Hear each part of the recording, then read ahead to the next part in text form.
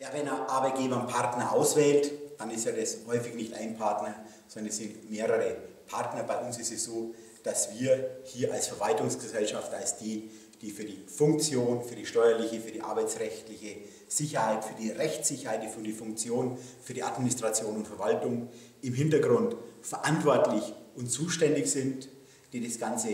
begleiten und einfach so machen, wie es der Kunde will, wie es der Kunde auch braucht, wie es aufs jeweilige Einzelunternehmen passt. Und auf der anderen Seite ist es meistens der Betreuer vor Ort, der das Ganze einrichtet, der das Ganze langjährig begleitet und betreut. Und da ist es zum einen mal ein Nasengeschäft, komme ich mit dem jeweiligen überhaupt zurecht, komme ich mit dem jeweiligen gut, äh, kann ich mit dem gut,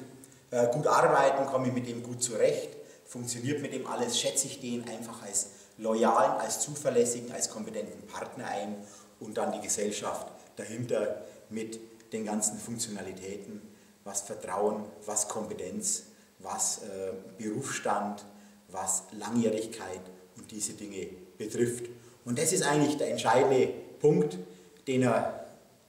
Unternehmer, den Arbeitgeber eigentlich äh, treffen muss. Wenn hier eine falsche Wahl äh, getroffen wird, dann ist meistens schlecht. Es ist nicht so schlimm, man kann das Ganze auch wieder korrigieren. Eine Verwaltungsgesellschaft, eine U-Kasse kann man in der Regel auch wieder wechseln, kann man wieder verlassen und kann die auf eine neue Verwaltungsgesellschaft, auf eine neue Unterstützungskasse übertragen. Aber es ist doch eine Entscheidung von hinreichender Tragweite und da sollte man sich einfach vergewissern,